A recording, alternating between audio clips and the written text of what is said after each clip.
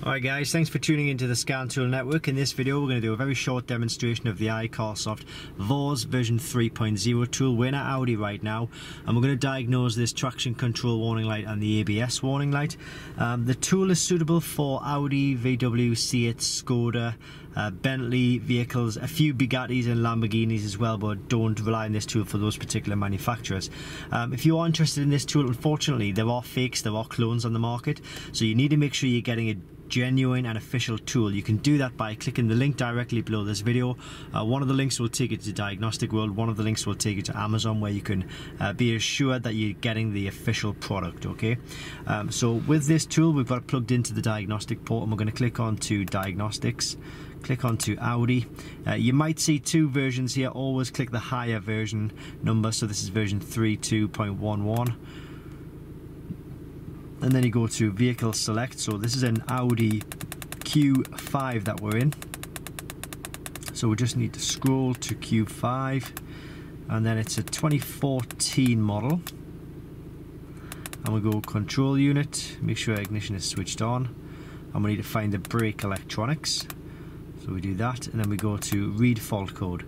So it's giving us two faults uh, electrical fault in circuit rear right ABS wheel speed sensor the second one is electronic parking brake control module. Now I know from experience that um, if there's a problem with the ABS sensor it will also create a problem with the brake control unit. Um, so don't always assume that if you've got these two faults that you're getting a fault with the uh, the control module, the braking, the parking brake. It's generally a fault with the part, the ABS sensor.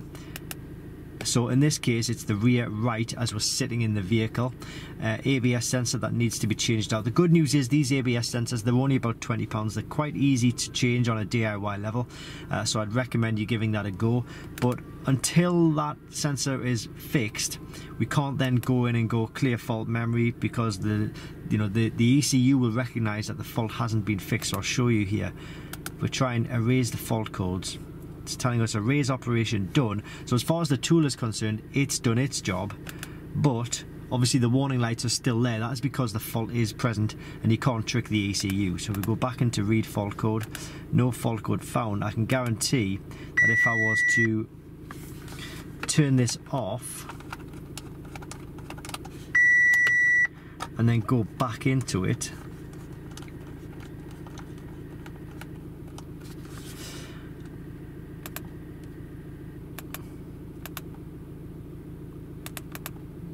go scroll down try and read those faults again.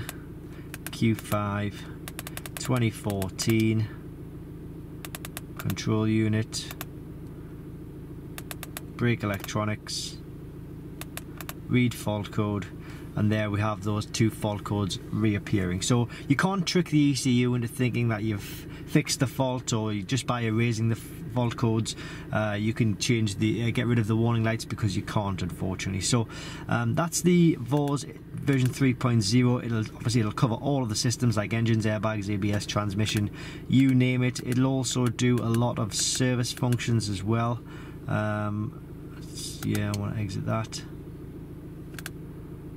So if we go to the service those are the service functions there so that's the VAWS version 3.0. Remember, if you are interested, make sure you use the link in the description below this video. You can either get it from Diagnostic World, who I would recommend, um, or you can get it from Amazon as well. Either way, the links in the description are going to take you to the official and genuine product.